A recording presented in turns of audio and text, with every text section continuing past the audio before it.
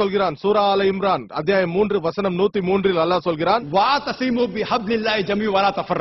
அல்லாவின் கயிற்றை வலுவாக பற்றிக் கொள்ளுங்கள் நீங்கள் பெரிந்தும் விடாதீர்கள். அல்லாவின் கயிற்றை வலுவாக பற்றிக் கொள்ள வேண்டும். திருக்குறானும் ஹதீசுகளும் தான் அல்லாவின் கயிறு. திருக்குறானில் அல்லாஹ் சொல்கிறான் சூரா அல்லா அத்தியாயம் ஆறு வசனம் நூற்றி ஐம்பத்தி ஒன்பதில் இஸ்லாத்தில் பிரிவினை உண்டாக்கும் யாராக இருந்தாலும் ஓ நபியே அவருக்கும் உங்களுக்கும் சம்பந்தம் இல்லை இஸ்லாத்தில் பிரிவினைவாதம் உண்டாக்குவது தடை செய்யப்பட்டுள்ளது. அது ஹராம். ஆனால் நீங்கள் எந்த பிரிவு என்று முஸ்லிம்களை கேட்டால் சிலர் நான் ஹனஃபி சிலர் நான் ஷாஃபி சிலர் நான் ஹம்பலி சிலர் நான் சலஃபி என்றெல்லாம் சொல்வார்கள். நபி யாராக இருந்தார்கள்? அவர் ஹனஃபியா ஷாஃபியா ஹம்பலியா மாலிக்கியா யாராக இருந்தார்கள்? அவர் முஸ்லிமாக இருந்தார்கள். அல்லாஹ் சொல்கிறான் திருக்குறானில் சூரா ஆல இம்ரானில் அத்தியாயம் மூன்று வசனம் ஐம்பத்தி இரண்டில் இயேசு கிறிஸ்து அவர்களுக்கு சாந்தி உண்டாகட்டும் அவர் ஒரு முஸ்லிம். திருக்குறானில் அல்லாஹ் சொல்கிறான் சூரா ஆல இம்ரான் அத்தியாயம் மூன்று வசனம் அறுபத்தேழில் இப்ராஹிம் அவருக்கு சாந்தி உண்டாகட்டும் அவரும் ஒரு முஸ்லிம். அல்லாஹ் சொல்கிறான் திருக்குறானில் சூரா ஃபுசிலத் அத்தியாயம் நாற்பத்தி ஒன்று வசனம் முப்பத்தி மூன்று.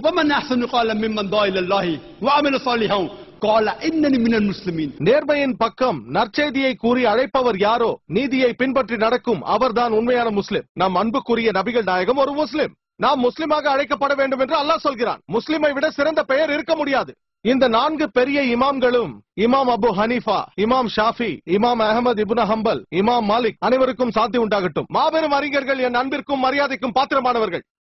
மாபெரும் அறிஞர்கள்.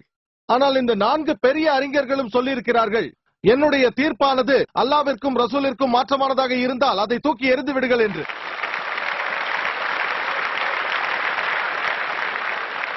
நீங்கள் ஆராய்ந்து பார்த்தால் வந்த எல்லா இமாம்களும் பிரிவினையை உண்டாக்கவில்லை. அதற்கு மாறாக அவர்கள் மக்களை குரானையும் சகிஹான அதிசையும் பின்பற்ற சொன்னார்கள். ஆனால் நம்மிடையே நிறைய பேர் முஸ்லிம்கள் 73 மூன்று பிரிவாக பிரிவார்கள் என்று ஹதீஸில் நபிகள் நாயகம் அவர்கள் சொன்னதாக சொல்கிறார்கள். சூனன் திருமிதி ஹதீஸ் எண் நூத்தி எழுபத்தி ஒன்றில் எழுபத்தி மூன்று பிரிவாக பிரிவார்கள் என்று சொன்னார்கள். பிரிய வேண்டும் என்று சொல்லவில்லை. அல்லாவே சொன்னாலும் நாம் பிரிவினை ஏற்படுத்துவோம் என்று நபிகளுக்கு தெரியும். குழப்பத்திலிருந்து வெளிவர சிறந்த வழி அல்லாவையும் ரசூலையும் பின்பற்றுவது. முஸ்லிம் என்று அழைத்துக் கொள்வது நமக்கான சிறந்த அடையாளம். எந்த சிறந்த அறிஞராக இருந்தாலும் உலகத்திலேயே சிறந்தவராக இருந்தாலும் அவரிடத்தில் ஆதாரத்தை கேளுங்கள்.